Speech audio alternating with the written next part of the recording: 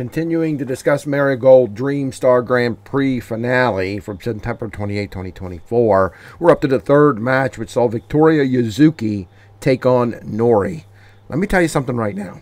I know Victoria Yuzuki. She got her start in stardom. She still has less than one year experience, and she's incredible. She went toe to toe with Momo Watanabe, Starlight Kid, and others, and showed them that they had to be wary of facing her. I mean, she really has this wrestling stuff down. She is the future ace of Marigold. There is no doubt in my mind. I like her. Big fan. Now, I tell you all that to tell you I have just discovered Nori. And I don't know where the hell she comes from, but I hope she sticks around Marigold because she is amazing as well. Her strikes are as good as anybody in the business. I'll repeat that. Her strikes, Nori's strikes, are as good as anybody's in the business. Her kicks, especially, are lethal.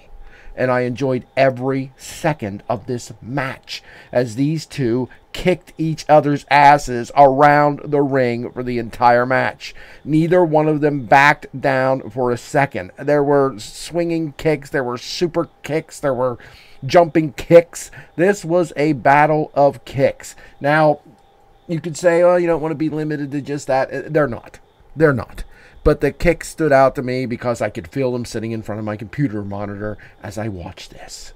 But Yuzuki and both of them even have a run up the ropes while holding your opponent's hand and dive off and smash their face into the ground move. I don't know what you call that, but it's great, and both of them do it. This was a perfect bout. Now, but this, I'm not saying it's match of the year, but these styles matched so well, worked so well that it was just unbelievably fun to watch this match. Like I said, it started out, there was no handshake. Uh, they just started out kicking at each other. It started out with, um, excuse me, started out with Nori. I didn't want to misuse her name. I almost said Yori again. I'm new to Marigold. Bear with me. Uh, Yori running up the ropes and doing that move to, that I talked about earlier. Yuzuki responded with drop kicks and a body slam. Um, Nori responds with a big kick to the face, followed by a running punt to the lower back and a ridiculously good looking knee smash, running knee smash to the head and face of Victoria Yuzuki.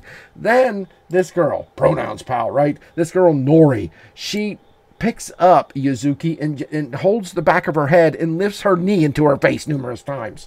It was brutal. This was Bryan Danielson type of stuff, folks. But Yuzuki continues to fight back, showing um, showing Nori that again, I keep wanting to say Yori, bear with me. Showing Nori that she can kick with the best of them too, kicking her between the ropes and doing her move where she runs up to the top rope and jumps down and smashes her opponents into the head, followed with a big single leg drop kick. But Nori is not done. She delivers a massive super kick to the chin of Victoria Yuzuki. But Yuzuki is up and gets a big bridging suplex and gets a two count. But as she picks Nori up, she gets a spinning buzzsaw style kick to the side of her head and a big back body drop. But as Yuzuki standing up, she delivers like a mule kick to the chin of Nori.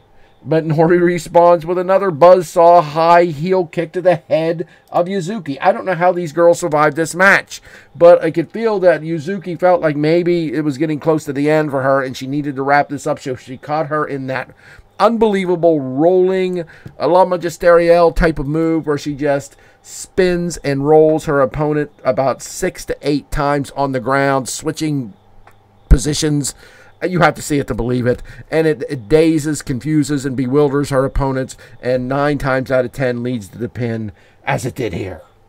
So Victoria Yuzuki gets the gets the greater points in this tournament, beating an unbelievable Nori, who I want to see more of. She has climbed to the top of my favorites list. I, am going to look her matches up.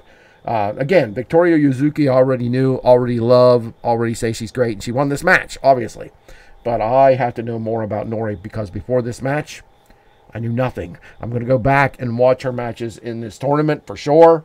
But she goes down here to the better, Victoria Yuzuki. But man, they got a star in her. And if they don't sign her, meaning Marigold doesn't sign her to a contract, they're insane. Great stuff here. Again. after the match, Yuzuki on the microphone, Victoria Yuzuki.